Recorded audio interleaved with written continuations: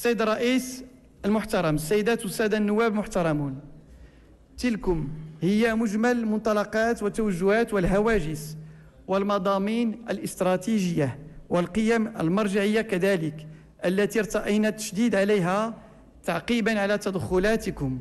وذلك حتى نضع مشروع قانون المالية سنة 2013 في نصابه الحقيقي وداخل سياقه السليم بما يتميز به.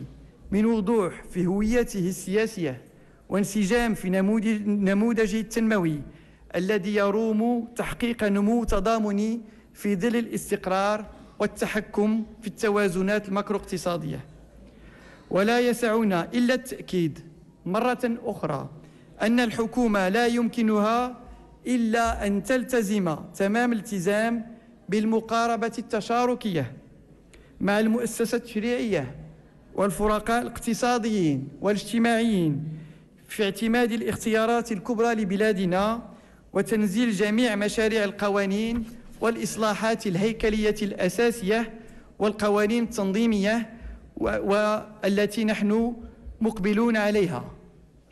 ولا نفشي سرا هنا.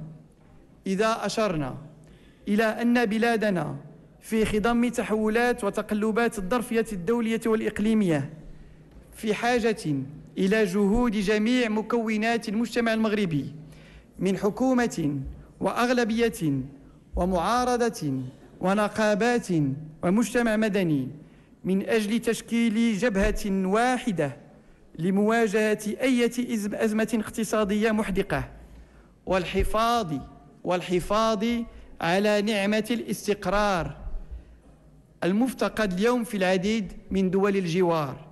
من خلال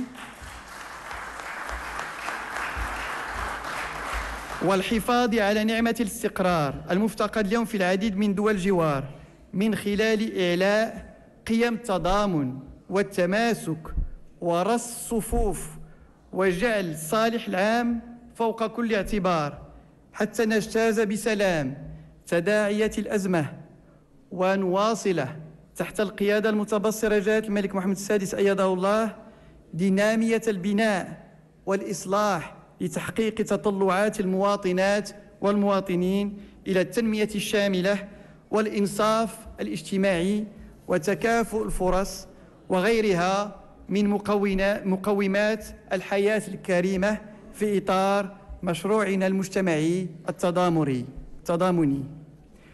إنهم يرونه بعيدا ونراه قريبا. صدق الله العظيم. والسلام عليكم ورحمة الله تعالى وبركاته.